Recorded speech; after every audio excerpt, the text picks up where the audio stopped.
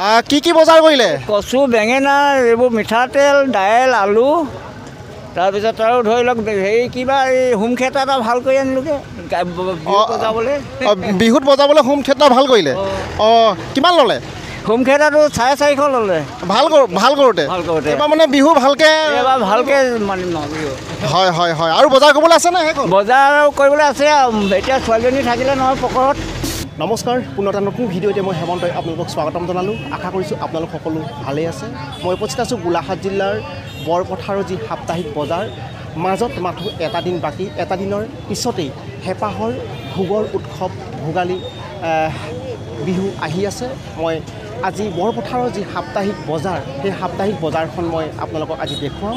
বিভিন্ন প্ৰান্তৰ পৰা লোক ওলাই আহিছে বজাৰখনত প্ৰয়োজনীয় বস্তু ক্ৰয় কৰিবৰ কাৰণে। মই সমগ্ৰ বজাৰখন আপোনালোকক এফালৰ পৰা দেখুৱাবলৈ চেষ্টা কৰিম। আশা কৰিছোঁ ভিডিঅ'টো আপোনালোকে স্কিপ নকৰাকৈ শেষলৈকে চাব। যদি ভিডিঅ'টো আপোনালোকে ফেচবুকত চাইছে তেন্তে মোৰ পেজটো প্লিজ ফ'ল' কৰি দিব। আৰু যদি ইউটিউবত চাইছে তেন্তে মোৰ চেনেলটো প্লিজ ছাবস্ক্ৰাইব কৰি দিব আৰু ভিডিঅ'টো লাইক শ্বেয়াৰ কৰিব। আহক দেৰি নকৈ ভিডিঅ'টো আৰম্ভ কৰোঁ।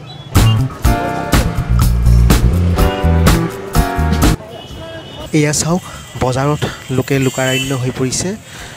চাৰিওফালে মানুহ।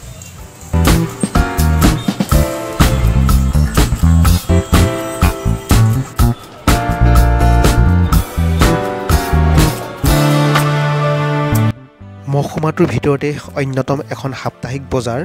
প্ৰতি বৃহস্পতিবাৰে এই বজাৰখন বহে।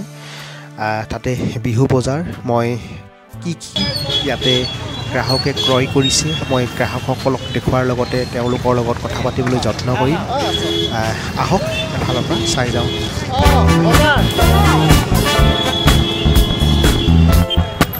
এইবিলাক চাওক বৰা চাউল চিৰা মুড়ি আৰু লগতে ডেৰগাঁৱৰ ঢেকীয়ালৰ গুড়।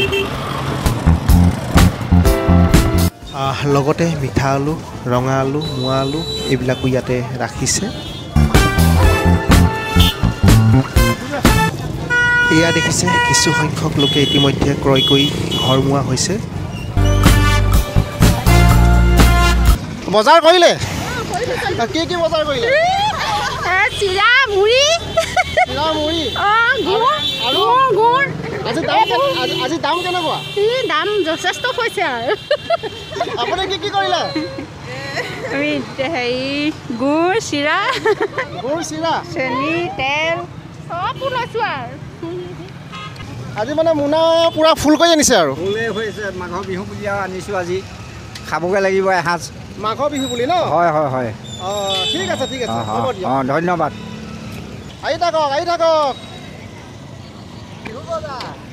বিহু বজাৰ। অঁ।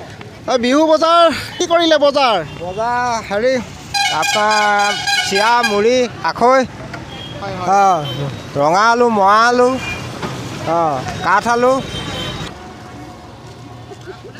কিমান ল'লে? অ' বাইদেউ কিমান ল'লে? বজাৰ কৰিলে? বজাৰ কৰিলে? কি কি ল'লে? আলু কচু সেইবিলাক অঁ এইবিলাক ন? বজাৰ কি কি কৰিলে? বন্ধাকবি। আৰু? গুড় চেনি ফ্ৰেচবিন আলু কচু। সেইকেইটাই আৰু বজাৰ কৰিলোঁ বিহু বজাৰ। ঘৰ- ঘৰ কোন জেগাত ঘৰ দুই নং মৰাণ গাঁও। মৰাণ গাঁও? আৰু বজাৰ কৰিবলৈ আছে নে? হৈ গ'ল? হৈ গ'ল আৰু নাই বজাৰ কৰিবলৈ। আৰু নাই ন? আৰু আজি দাম কেনেকুৱা? দাম আছে আৰু। বস্তুবোৰত দাম লৈছে নে আগত যেনেকৈ কিনি থাকে তেনেকৈ পাইছে আজিও? দাম লৈছে। দাম লৈছে? বন্ধাকবি কেইটকাত কিনিলে? কেজি? কেজি বিছ টকা। বিছ টকা। উম, আহ, তাৰপিছতে মুড়ি দেখিছোঁ মুড়ি? মুড়ি ষাঠি টকা। ষাঠি টকা? অঁ এক কেজি ষাঠি টকা। হয় বজাৰ কৰি হৈ গ'ল ন? অঁ হৈ এতিয়া ঘৰ গ'ল যাব? অঁ ঘৰ যাওঁ ঠিক আছে এয়া যতীন ছাৰ আছে মই যতীন ছাৰৰ পৰা জানিবলৈ চেষ্টা কৰিম। তেওঁ বজাৰ কৰিছে বিহু বজাৰ কি কি লৈছে?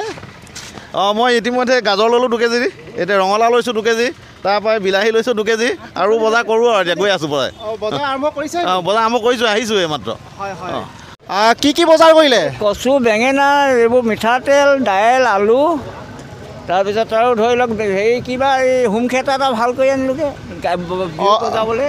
অঁ, বিহুত বজাবলৈ হোম থিয়েটাৰ ভাল কৰিলে? অঁ কিমান ল'লে? হোম থিয়েটাৰটো চাৰে চাৰিশ ল'লে। ভাল কৰ ভাল কৰোঁতে? ভাল কৰোঁতে। এইবাৰ মানে বিহু ভালকৈ এইবাৰ ভালকৈ মানিম বিহু।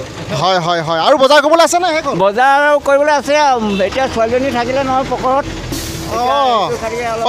অকণমানি। কি হয় আপোনাৰ? নাতি হয়। নাতি। কি নাম তোমাৰ? নমস্কাৰ মোৰ নাম শ্ৰীমতী ৰিচা বৰা। অঁ অঁ। ঠিক আছে ভিৰো বহুত হৈছে ন আজি। অঁ ঠিক আছে যাওক। এইবাৰ আপোনালোকক দেখুৱাব বিচাৰিছোঁ অস্থায়ী মাছ বজাৰখন।